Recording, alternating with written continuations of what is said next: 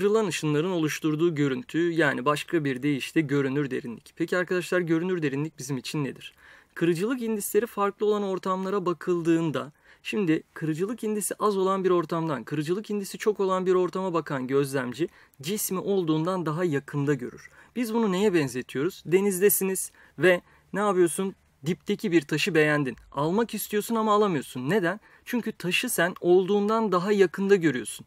Eline attığın zaman boşa atıyorsun. Bunun sebebi neymiş arkadaşlar? Çünkü cismi bizim olduğundan daha yakında görmemizmiş. Ve aynı şekilde kırıcılık indisi çok olan bir ortamdan kırıcılık indisi az olan bir ortama bakıldığında ise cismi olduğundan daha da uzakta gördüğümüzü söyleyebiliriz. Ve buradaki sistemde biz görünür derinliği nasıl hesaplayacağız?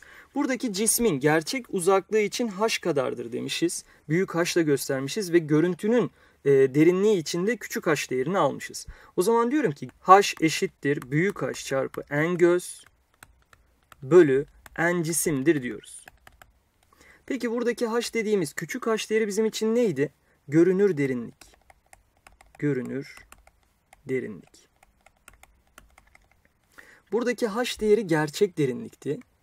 Gerçek derinlik diyorum.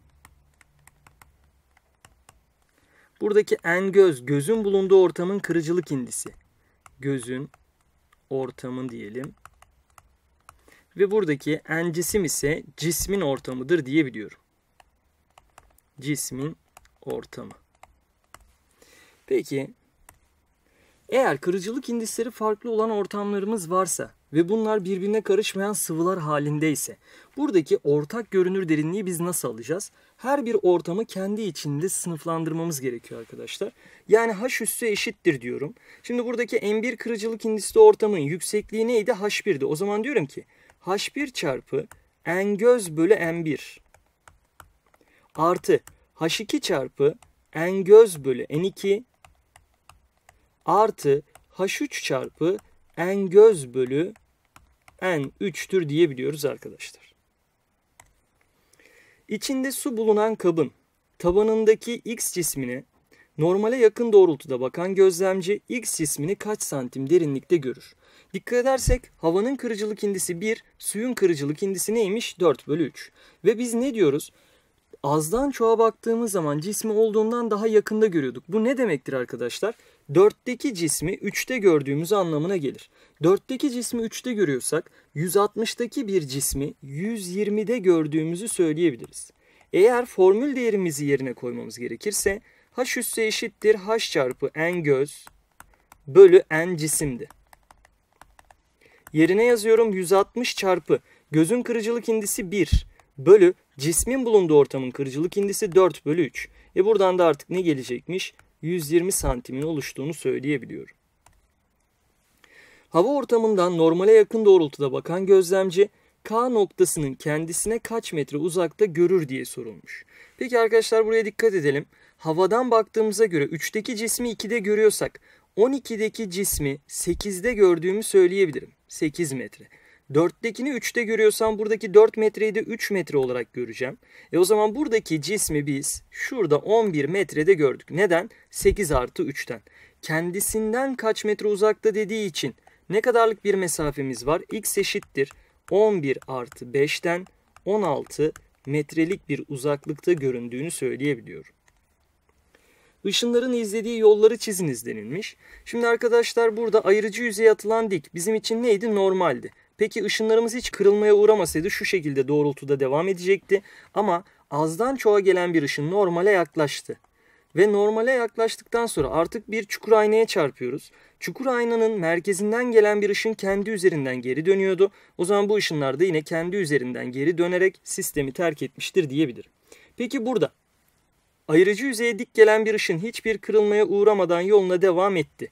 Ve sonra çukur aynaya asal eksene paralel gelen bir ışının varsa odağına doğru gidecektir. Ve bu odağa doğru gelen ışın şimdi 3 farklı yol izleyebilir. Neden? Çünkü çoktan aza geçiyoruz. Bir ne olabilir arkadaşlar? Eğer gelme açısı sınır açısından küçükse normalden uzaklaşmış olabilir. 2. Ne olabilir? Ayırıcı yüzeyde gitmiş olabilir. 3. İçeride bir tam yansıma yapar ve tam yansıma sonucunda odaktan gelen ışın asal eksene yine paralel bir şekilde gideceği için ne olacaktır? Yüzeye dik gelen bu ışın direkt sistemi terk edecektir. 3 yolunu izleyecektir diyebilirim. Merkezi O noktası olan saydam kürenin içindeki K ışık kaynağı şekildeki gibidir. Buna göre hava ortamından bakan X ve Y noktalarındaki gözlemciler K ışık kaynağını nerede görür diye sorulmuş. Şimdi arkadaşlar ben K ışık kaynağından herhangi bir noktaya ışın yolluyorum. Şuradan bir ışın yolladığımı kabul etsem ve küresel yüzeye denk gelen ışın için normalimizi biz merkezden çiziyorduk. Merkezden normalimi çizdim ve çoktan aza doğru geçen bu ışının normalden uzaklaşması gerekiyor. Işınımı normalden uzaklaştırdım. Ve arkadaşlar bu ışının uzantısının düştüğü noktada artık K cisminin görüntüsünün oluştuğunu söyleyebilirim. Ve dikkat ediyorsanız X cismi K'yı olduğundan daha uzakta gördü. X için biz ne diyormuşuz? Uzakta görür. Uzakta görür. Ve dikkat ederseniz Y gözlemcisi bu cismi nerede gördü? Daha da yakında. O zaman ne diyeceğim? Yakında görür diyebiliyoruz. Yakında görür. Peki burada ABC noktalarını nerede görünür diye sorulmuş. Yine herhangi bir noktaya bir ışın yolluyorum. Ve normalimizi merkezden çizdik ve bu ışınlar hiçbir kırılmaya uğramadı. Ama şöyle düşünüyorum. Çoktan aza geçerken bu ışınların ne yapması lazım arkadaşlar? Normalden uzaklaşması. O zaman bu ışınları normalden uzaklaştırdım. Ve ışınların uzantısının düştüğü noktada A'nın görüntüsü oluştu diyebilirim. Demek ki A'nın görüntüsü daha uzakta oluştuğuna göre gözlemci A'yı daha uzakta görecektir diyebiliriz. Uzakta. Peki B'den herhangi bir noktaya ışın yolladığın zaman normal üzerinden gelen bir ışın hiçbir kırılmaya uğramıyordu. E bu ışınlar da normal yani merkez üzerinden geldiğine göre kırılmaya uğramamıştır diyebilirim.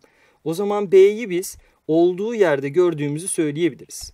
Olduğu yerde. Peki C için bakıyorum. Herhangi bir noktaya ışınlarımı yolladım. Ve normalimizi merkezden çizdik. Işınlar hiçbir kırılmaya uğramasaydı şu doğrultuda gidecekti. Ama normalden uzaklaştılar ve uzantıları artık şu noktaya düştü. Dikkat edersek C'nin görüntüsü gözlemciye daha da yaklaştı. O zaman C'yi ise olduğundan daha yakında gördüğümüzü söyleyebiliriz. Yakında gördük. Müzik